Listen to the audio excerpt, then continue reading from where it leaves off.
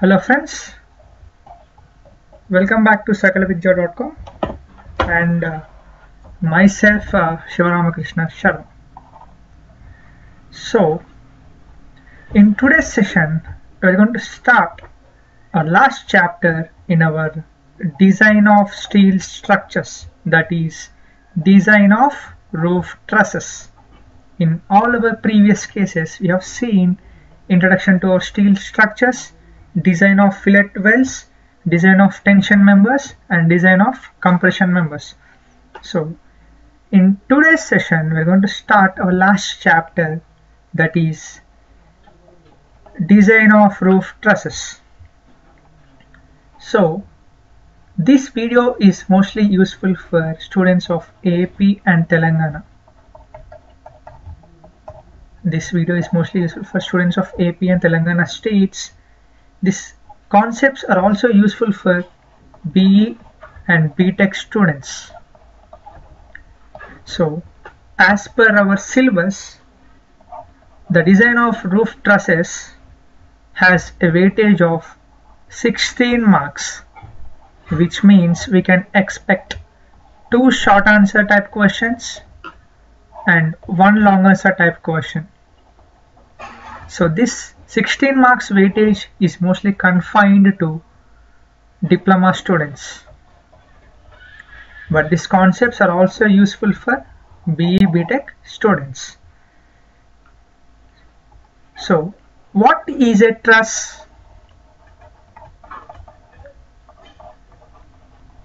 Let us think for a while.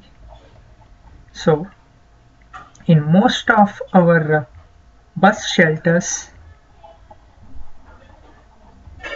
in railway platforms.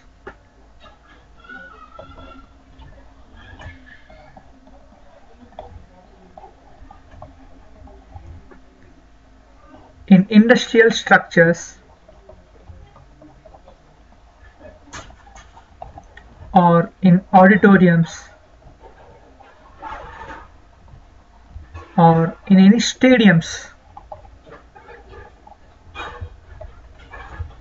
or transmission or signal towers.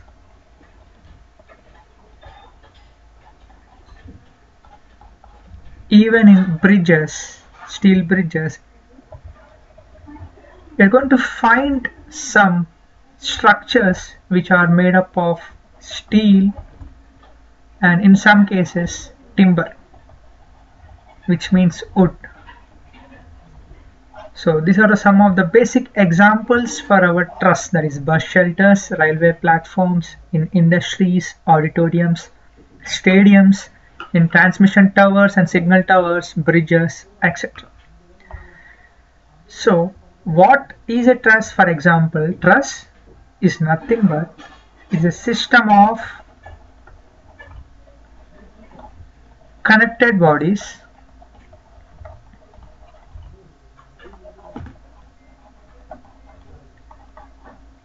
together to form a rigid body is a system of connected bodies together to form a rigid body. For example, for example, if we're going to have three different metallic plates, for example, we're going to have three different metallic plates. So I'm going to connect them in such a way that it leads to the formation of a truss.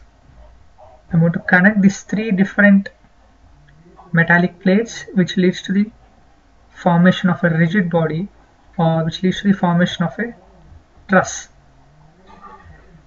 So this is the best example for truss. So truss is nothing but is a system of connected bodies together to form a rigid body.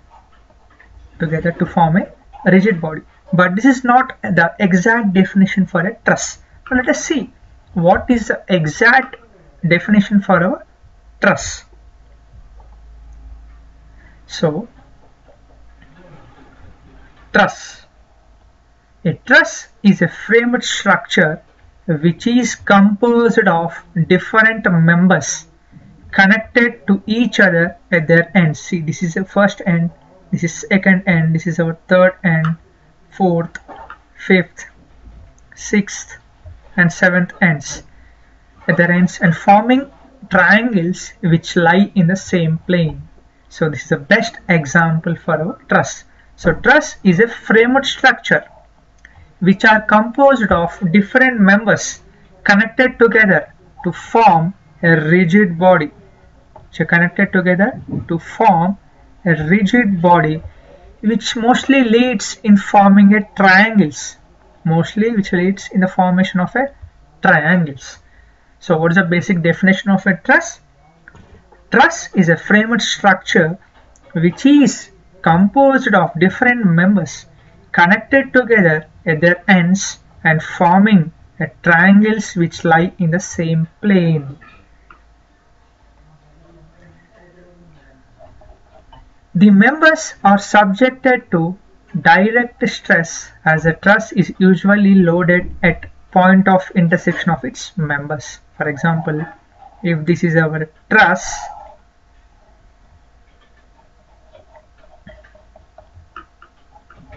on which we're going to add or apply a load, this load is mostly applied at the point of intersection of the members where P is nothing but load where P is nothing but load on the structure where P is nothing but load on the structure. So what is a truss? A truss is a framed structure which is composed of members connected to each other at their ends and forming a triangles. So the next very important topic that is the roof trusses are useful as at the places of high rainfall to avoid roof drainage problems. See, in, in our country, Meghalaya, that is northeast state, states of our country, that is Meghalaya and Mawsynram, is going to receive highest amount of rainfall. and also in our southern parts of our India that is Kerala is also going to receive some highest amount of rainfalls. So at that places we're going to use this truss as a roof. So as it is going to receive highest amount of rainfall what happens to the water? The rainwater is going to run off easily. There won't be any stagnation of water on the roof surface. So at the places of high rainfall to avoid the roof drainage problems. So this picture shows you clearly that a roof truss on which is going to receive highest amount of rainfall. Next, where roofs have to support an additional load due to snowfall. So in this picture it is very clear. On the roof we can clearly see the snow snowfall or snow load.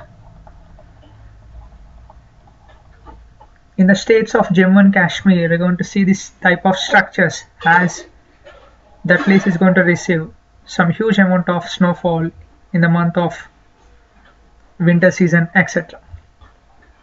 Next, for a large span where the use of beams will make the construction most uneconomical. See, if you're going to see the distance between the two mountains or the span between the two mountains is very large and it is very difficult to construct columns and beams by using RCC.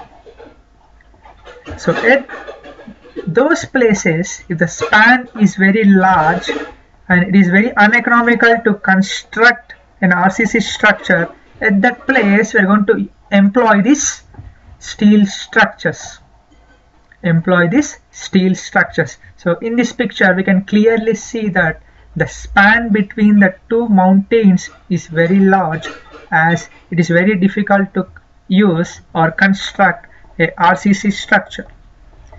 In most of the industries and factories, there also are going to use these steel structures.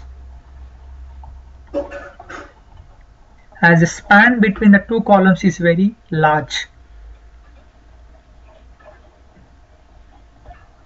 So for a very large span where the use of beams will make the construction most uneconomical. What is the meaning of span? Span is nothing but length.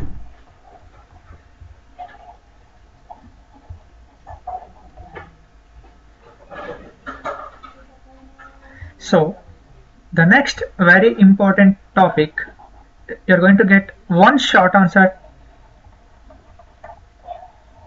from this topic. That is different types of trusses. Different types of trusses. So the first one that is king post. The first one is king post.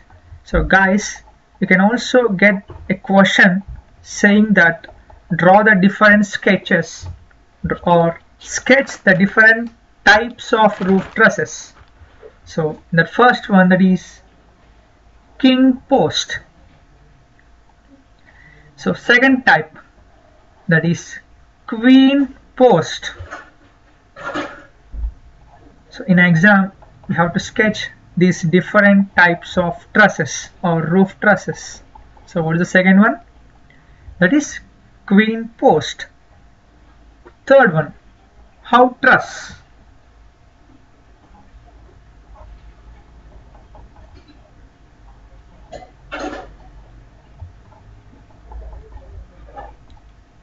Fourth one, fan truss.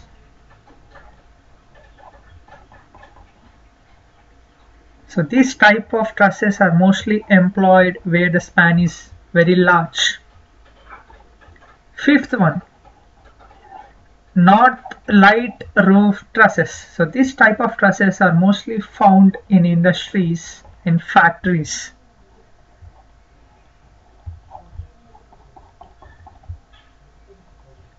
Sixth one, cirrus. So this type of truss is mostly found in transmission towers. This type of this type of trusses are mostly found in transmission towers.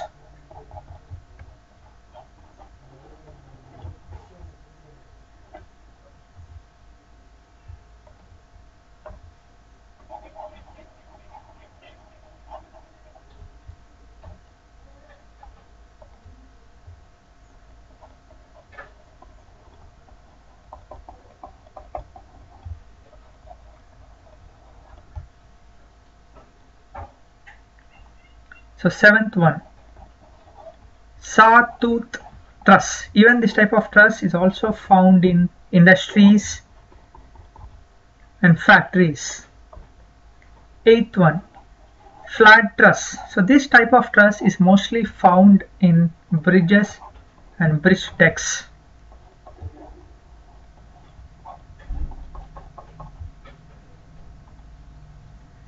ninth one, piggyback truss piggyback.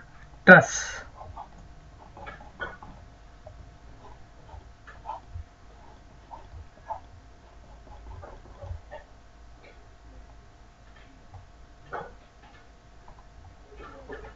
so these are some of the sketches for different type of trusses. So in today's topic we have seen what is what is a truss? What are the uses of truss?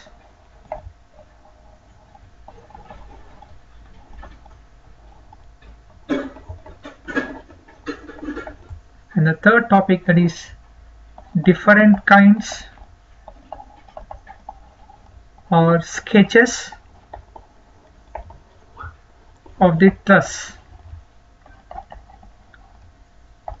So in our next topic, we are going to see the components components of a roof truss.